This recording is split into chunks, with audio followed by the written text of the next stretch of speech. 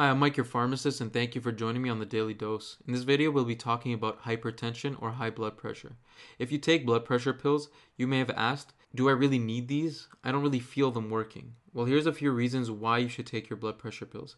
Increased arterial blood pressure is directly related to increased risk of cardiovascular complications. High blood pressure increases afterload.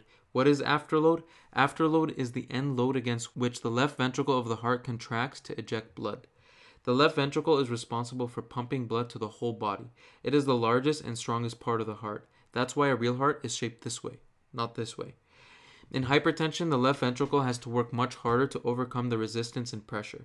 The heart is a resilient muscle, so when it has to work harder, it grows and becomes stronger like any other muscle. However, the heart doesn't get a break like your biceps. It's working 24 hours a day, 365 days a year. When overworked, the heart eventually starts to stretch and develop scar tissue. This illness is called left ventricular hypertrophy or LVH. If left untreated, LVH can lead to heart failure. Like when you exercise, we need more oxygen. It's the same with the heart. When it works harder, oxygen demand goes up. Unfortunately, in high blood pressure, there is less blood flow to the heart, decreasing the oxygenation of the heart. Low oxygen can lead to myocardial infarction or ischemia, or what is widely known as a heart attack. When the heart doesn't get the blood it needs, it stops working, and that's what leads to this impending feeling of doom. Another reason there is less blood flow to the heart is because high blood pressure causes arterial damage, which accelerates atherosclerosis buildup and weakens the vessel walls. Atherosclerosis buildup hardens and narrows your arteries, which further decreases blood flow to the heart. Think of a hose. If I decrease the overall volume in a hose, the pressure within that hose goes up drastically. Decreased oxygenation of the heart tissue increases risk of myocardial infarction or heart attack.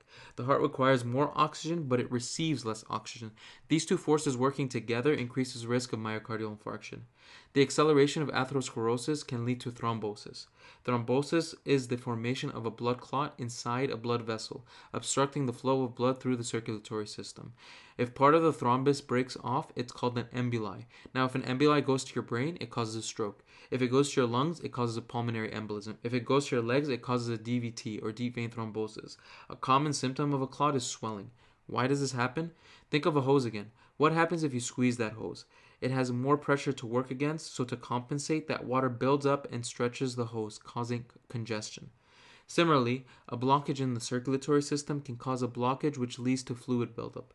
On top of all the all that atherosclerosis weakens vessels by hardening the walls of the arteries. High blood pressure causes your arteries to stretch. The stretching weakens them. Some of your more sensitive organs, like your eyes and your kidneys, have very small capillaries that, if overloaded by pressure, can be damaged beyond repair. If the aortic arteries weaken too much, it can cause an aortic aneurysm. If the arteries in the kidneys weaken too much, it can lead to CKD or kidney failure. If the arteries in the eye weaken too much, it can cause retinopathy. So, yes, you may not feel your blood pressure pills working, but not taking them can cause this progression to serious illness. These are all reasons why hypertension is termed the silent killer. If you have issues with remembering to take your pills, pharmacists have strategies aimed to help reduce missed doses and increasing compliance. I'm Mike, your pharmacist, and thank you for joining me on the Daily Dose. If you found this video informative or helpful, please like or share it with your friends. Thank you.